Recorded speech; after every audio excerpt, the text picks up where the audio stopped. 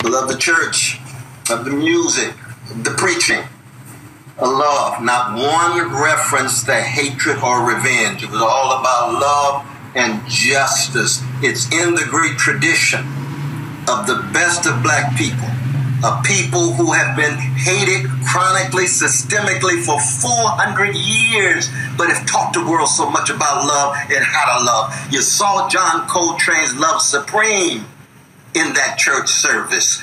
You saw the love of the children or Marvin Gaye's What's Going On and Toni Morrison's Beloved. You saw Mama Raisin in the Sun of Lorraine Hansberry.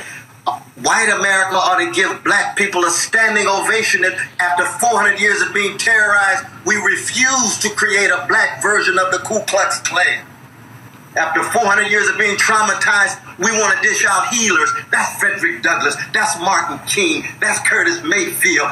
That's Fannie Lou Hamer. What is it about these black people? So thoroughly subjugated, but want freedom for everybody. That's a grand gift to the world right in the bowels at the center of an American empire that is enslaved, Jim Crow, Jane Crow, lynched them, still dishing out these love warriors.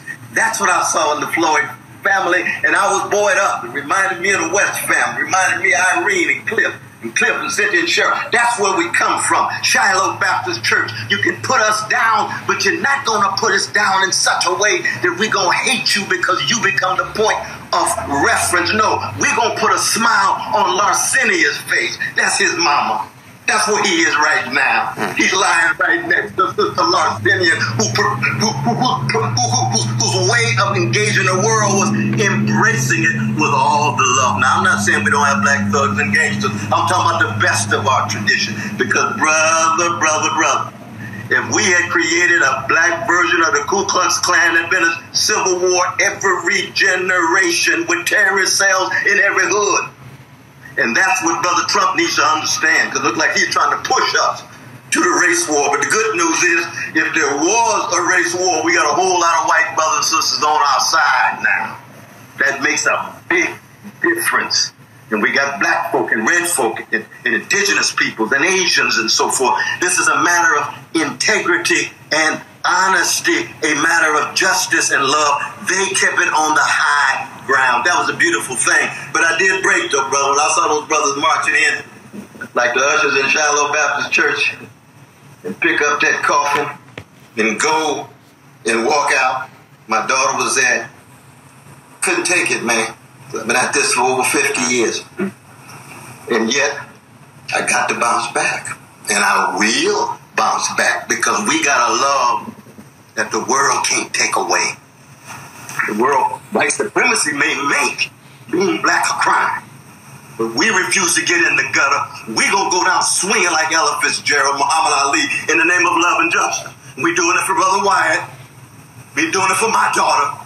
We doing it for the Asians. We're doing it for the whole world because that's the only hope of the world. And that kind of love is always tragic, comic, and cruciform. You got to get ready to get crucified with that kind of love, and yet you keep dishing it on generation after generation after generation. The Floyd family lifted up that spiritual, moral banner in the midst of a moment in which we got all these lies and crimes, be it Pentagon, the, the, the Pentagon, or, or Wall Street, or White House, or even Congress itself.